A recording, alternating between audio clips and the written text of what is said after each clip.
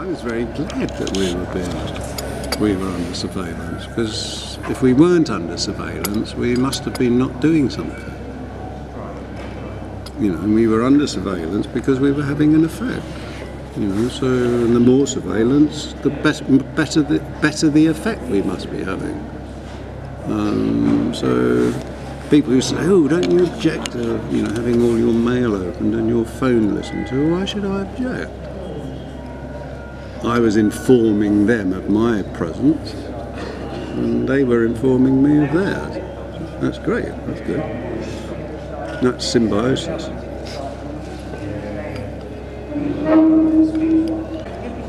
I I really felt upset this morning looking at uh, when I'd done my tweet this morning. I had a sort of I went back to the home site, you know, and saw what sort of stuff was coming in, and it and probably almost sixty percent of what people was tweeting was about Donald Trump. You know, very very aggressive, very abusive, all sorts of stuff which is going to have no effect whatsoever except upsetting other people further. People who are already afraid, already upset, already this, already very negative, already despairing, already unhappy. What's the point of adding in yet another comment to make them even more unhappy and fearful? Because those aren't very good places to be. It's not a good place to be unhappy and fearful. So why does the alternative world concentrate so much on the negative. If we want to create an alternative society, then we have to find something positive which is more powerful than the negative. And there is something, it's called love. And it's very simple, you just do it. You know, and by doing it, then bit by bit, you know, that sense of power, that sense of control just crumbles. It has to crumble. You can't survive against that. What does massive opposition mean? Those people are built to deal with massive opposition. They don't, you know, it, it, it confirms their power. Donald Trump would have been very upset indeed if people hadn't rallied in their thousands. And it doesn't matter whether they rally in opposition or support. They're both doing the same thing and they're empowering him. That's what gives him his power. We hand him his power on a plate. If none of us were in the least bit interested, then there wouldn't be a Donald Trump.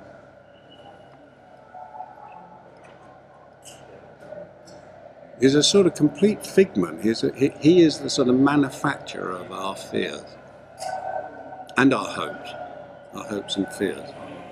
On the one hand, is the manufacturer of hope, on the other, uh, of our hope, or on the, on the other hand, is the manufacturer of our fears, one or the other. And if we buy into one or the other, then we're a part of that. That's our complicity. So, I mean, we know that all, I mean, on, on, on an economic level, great nations great nations, um, you know, require opposition. You know, when the Berlin Wall fell, it was within within months um, the enemy of Islam had been invented because the whole um, industrial, military industrial complex depends upon that form of un, unacted, generally speaking, conflict because that's a huge amount of the market is built around the military. You know, so once Russia was no longer the great threat, then effectively a new threat was invented, created, which was Islam. You know, they up to that point, you know, there was a sort of relative peace along the great side of, of Muslim thought, and you know, Morocco all the way through Asia to India and beyond. Suddenly, you know, there's this huge, it's a far greater wall than the, you know, the wall between communism and capitalism. Capitalism had to find a new enemy. It found Islam. And the thing it didn't calculate on was the fact that that's an unbreakable. Communism is a sort of intellectual idea. Islam's a faith. And you don't break faith very easily. You can break ideas very easily. You know, so the, it was America took on this dangerous enemy and is proving to lose hands down all the way and will continue to actually. It's choosing the wrong enemy. So in that sense, you know, Donald Trump's, you know, you, you could sort of, in a way, you could sort of think, well, if he's being honest about his isolationism, you know, he wants to return to an America that is America, to, to uh, stop fighting other people's wars. Then if if that, which is probably not going to be the case, but if that were the case, that the interests of America simply um, became effectively defensive, and I'm not saying that these are worthwhile, I'm saying it's a process that could occur. In other words, the Mexican wall takes the place of the Great Wall of Islam, then that would be a very a help towards world peace. Because this imaginary wall would be replaced by a physical wall, and a physical wall can be climbed over. You can't climb over an imaginary wall. No one can. You can't do anything with an imaginary wall because it's an imaginary wall. And you go on imagining. If it falls down, you can imagine it comes up again. Much better to have physical walls. That's why they, that's that's how and why the Berlin Wall fell. The great line between communism and capitalism was a physical thing, and it was removable. Let's have them. Let's have our ideas constructed into form, and then we can maybe deal with it. We can say, no, we don't actually don't like look at that. Let's pull that building down. Replace it with another, or whatever we're going to do. But ideas, dangerous stuff.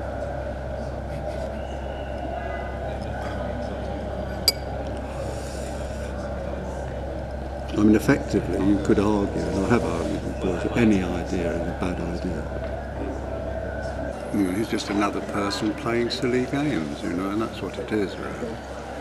And we allow them to do that. Well, fine. Okay. I mean, I've never understood, you know, like uh, at that huge rally against the Iraq War, there were millions of people turned out in the streets. It was one of the biggest protests ever in Britain. Well, I would guess that probably at least 70% of the people on that march had voted in the last elections. Well, don't go then dancing up and down saying, not in my name. Because the moment you put a, a, tick, and it doesn't matter whether it's a for or against on an election, on a ballot card, you have become part of that system. You're actually um, buying into a sort of lie of democracy by just a tick. That's it. You know, you cannot beyond that point complain about the outcome. And it's all very well. You, most of those people who were on that protest would say, we believe in democracy.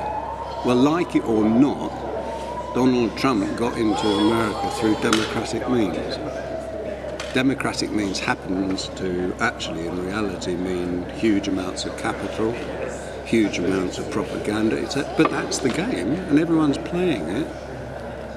You know, and it's an accepted game. And if you're not going, if you're going to go on buying into that system, you can't have half of it or a little bit of that system. That system is that system. Get real. So, do you think that not voting has merit? Mm. Hmm. It has merit in the same way as not not eating meat has merit. In the same, if you don't believe that animals should be treated badly, well, don't eat them. It's simple, isn't it? It's not going to save many animals. But if you you can't you can't talk about peace and you can't talk about freedom and liberty and egalitarianism if you're not prepared to act it. You know, we, we, we can't fool ourselves. And we're not going to make it better because it's not there to be made better of. You know, reformist politics are a joke, you know, because the ruling elite will make whatever small concession will, which will ease the pressure. They'll never actually allow, they simply make concessions. You know, that's what democracy is about. Playing around with the edges of dissent, you know, adapting slightly to accommodate, but never actually letting go of power.